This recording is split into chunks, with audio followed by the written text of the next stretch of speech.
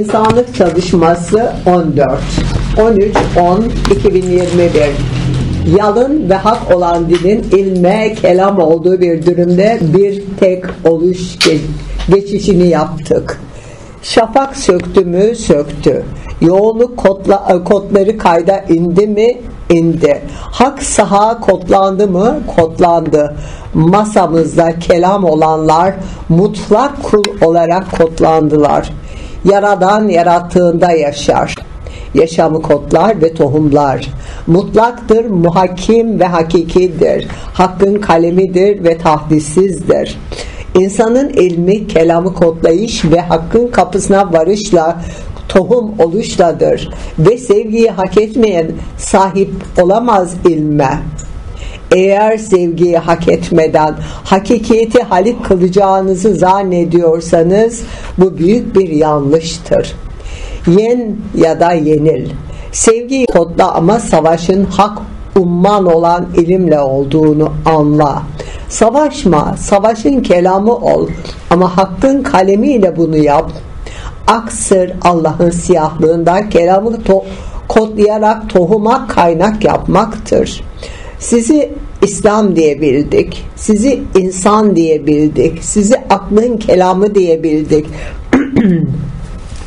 Ve sizlendik burada biz. Uzun zamandır doğal dünyanın kültü olarak buraya kodlanmayı çabalayanlarla bitki, hayvan ve her anı kayda almak üzere muhtediriyeti kodluyorduk burada ve bugün artık mutlak tohumlama yapmaya başladık. Er ya da geç bunlar olacaktı ve olmaktadır. Kardeşlerim, doğa çok güçlenecek. Doğanın güçlenişiyle birlikte yaşam kodlanacak. Eğer su, suyu anlamaya başladınızsa şunu söyleyeyim su ilimle kodlanmış bir şavktır ve su olmadan yarınlar kodlanamaz. Eğer su kodlandığında kaynak ilim olmamışsa haşrı ka olan, tahditli olan, isra olanlar kulluk kaydını hak teknikle kayda çekemezler. Bugüne kadar doğayı anlayan çok ama çok az insan yaşadı planette. Bugün şunu söylemek isteriz ki doğanın çok büyük bir görevi var. Çok büyük bir güçtür doğa. Doğayı anlamayan yarını hak etmeyendir. Doğayı güçlenerek hak teknikle kodlayanlar vardır planette. Onlar siyah renkte hak tekniği kodlayarak göç kayıtlamaları yapanlardılar. Artık onlar bütüne hizmet için yeri göğü yaradan o tohumu kodlayacaklar ve doğa mutlak kulluğu kayda alacak.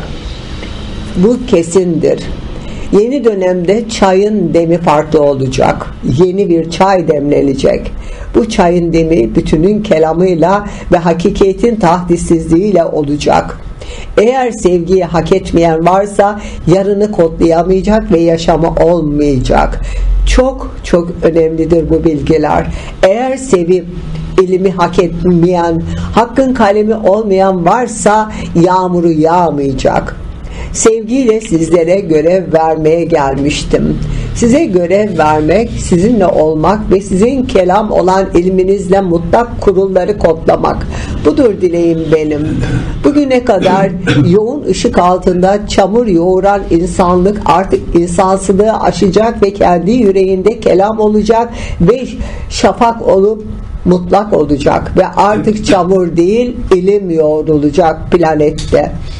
İlmi bilen aklın kelamı olandır. İlmi bilen hakkın kapısını bulup hak olandır. İlahi güçtür insan ama bu gücün hakikiyeti olmalıdır. Yeniden dünya planetine inelim ve yaşarım diyenler var.